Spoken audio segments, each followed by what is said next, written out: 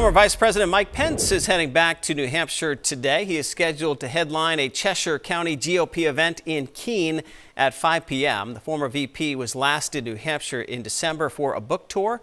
Political analysts have discussed Pence as a possible candidate for the 2024 Republican presidential nomination, but he has not made an announcement.